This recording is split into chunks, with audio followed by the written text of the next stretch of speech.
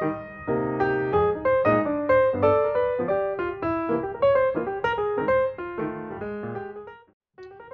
everyone, my name is Teresita Gravina and I am a math, science special need teacher from Caserta, a city in the south of Italy. I teach actually in Istituto Comprensivo Vanvitelli, also in Caserta. And this is my entry from the STEM Ahead competition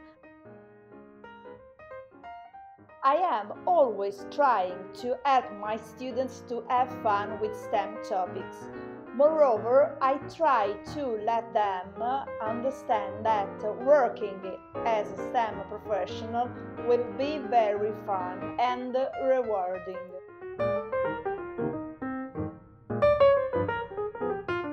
It's not difficult to help students to understand the importance of STEM professional in our society. They have just to have a look around them. And this is a way to help them to understand that investing in STEM studies will help them to find a job in future.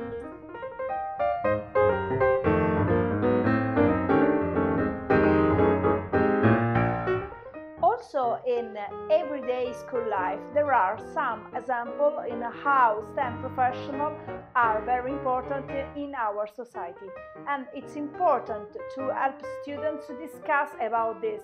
Which are the skills needed from this type of job and how to find the right information. For example, the students just making a simple research, they will find that there are many different kind of STEM professional and maybe also the way to get this type of job will be different.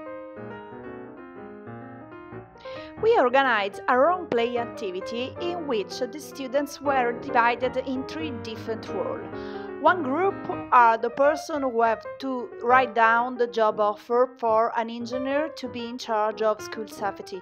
The second group have to be the people which interview the job candidate and the third one are the person who have to act as the headmaster to search the right person and the people who are applying for this job. In this way, the students have to make some research about which are the skills needed for this kind of job and which type of study at university you have to do to become a STEM professional in the future.